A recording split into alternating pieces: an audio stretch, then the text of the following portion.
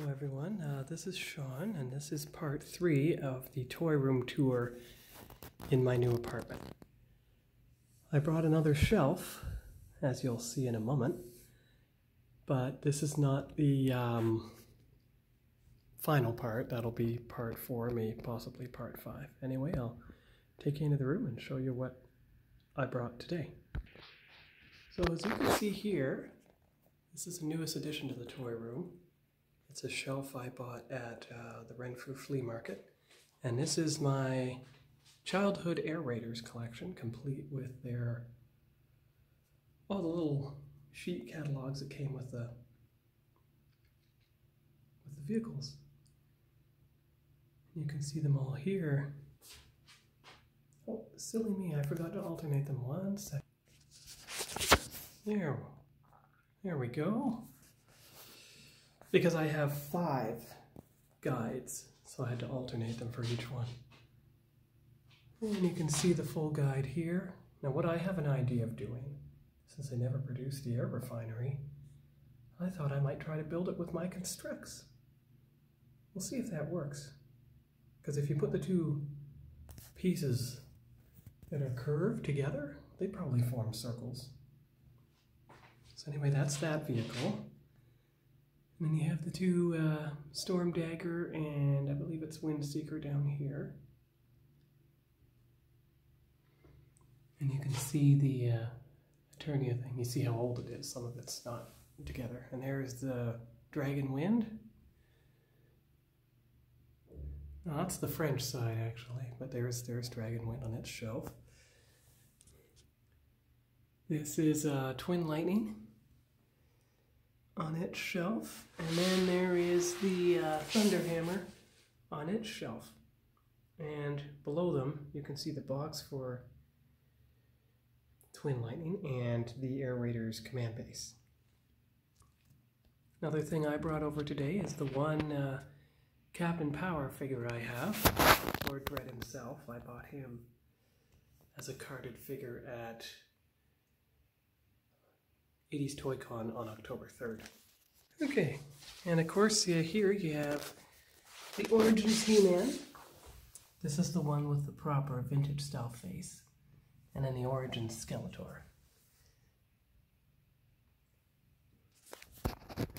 And almost, well, five years ago now, when Star Wars turned 40, I bought the five figures that I could. So you have Darth Vader, you have Obi-Wan, you have Luke, you have Leia, and you have Han Solo. Then you come over here and you see the Pez dispensers that I bought at uh, flea markets. Some loose Pez candy there. And these are my collectible and for the most part autographed Lord of the Rings, and other DVDs. See, there's Dragon Ball Z with Christopher Sabat's autograph. He voiced Piccolo. There's Boston Legal Season 2 with uh, William Shatner's autograph as Denny Crane. Here's the first six Star Trek movies on VHS. And here is the collector's edition of the first 10 Star Trek movies on DVD special extended scenes. Each of them have two discs, so they have behind the scenes interviews and everything. Let me just take the price tag off. There we go. There's a better look without the price tag on it. This uh, DVD set was produced around 2001. And of course, if you slowly pan across the other roll, you'll see that I already have showing you most everything that's on these shelves, including the Visionary shelf here. So then I'll show you what else I brought to the room today. So you have the Power of the Force Boba Fett figure. This is from 1995. And if you look at the back of it, you can see the other Power, his whole biography. Well, stats anyway. You can see the other figures that they had at the time. I had Han, I had Leia, and I had Obi-Wan. Now the 3PO and R2 I have, they look very similar to the 3PO and R2 on the shelf. But I wouldn't be surprised if that is them. And at Fan Expo, or maybe 80s Toy Con, I forget, I bought some collector cases. Just plastic ones that you can assemble. But I realized that they are the perfect size to have the two um, Motu Hot Wheels on top of each other. I'm just going to shut the curtains, turn on the lights, and I'll be right back. There, that's better. You can see the uh, the Motu Hot Wheels much better now. And if you look at the card backs, which you should be able to see most of, so the bottom one is Skeletor. There he is. Top one's He-Man.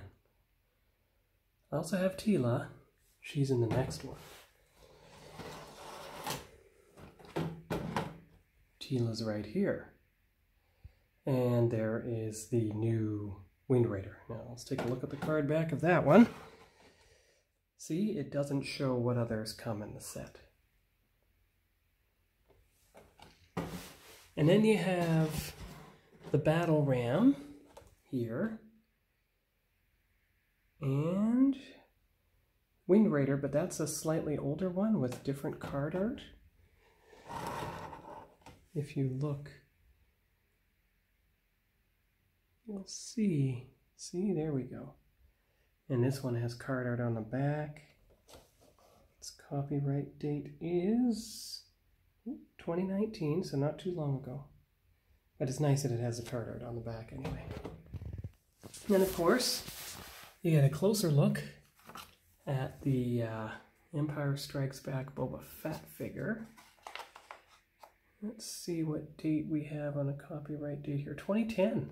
Oh my goodness, he's not even in a protective case. And yet he's already, well, 12 years old this year, right? Hmm. So there's some of the figures. Huh. There we go.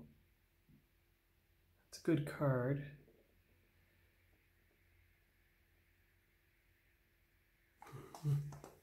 And then, of course, you have uh, Lando Calrissian here. So let's see what his uh, date is.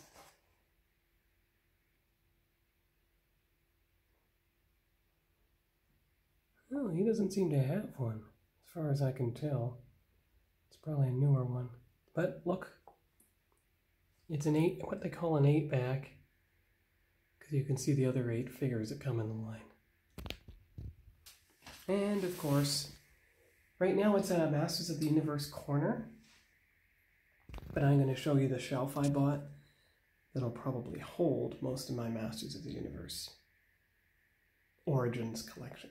Be right back. So don't mind the uh, the models on top of the shelf, but I bought the uh, five level shelf here. So it's 72 inches tall, which is about six feet. So it's actually taller than I am.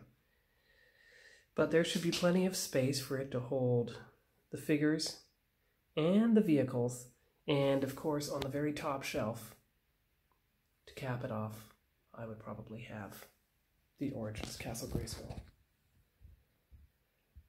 But I mean, there there is another another idea I have. Like there there is another shelf at home that I have. It's wooden. It's uh it's not like this. It has a backing and it has four levels. And it's a bit wider than this one and a bit taller. It's, it's almost the same height as this shelf here, actually. It's just bigger like that one. And I figure that wooden one will probably be the origin shelf because I will use the other one as my uh, model building shelf. So just taking a slow circuit around the perimeter of the toy room. I, I put everything against the walls. Made sure to do that.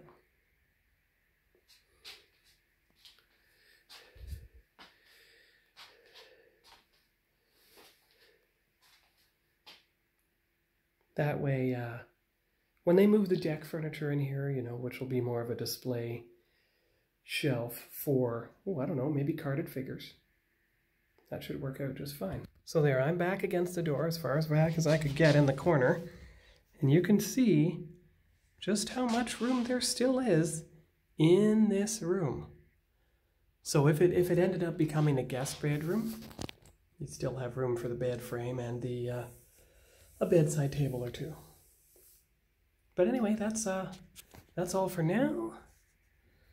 Talk to you all later for part four, which I'll probably end up filming on Wednesday, February 2nd, because Tuesday, February 1st, I'll be busy with the movers, both out of my old place and into this new place, so.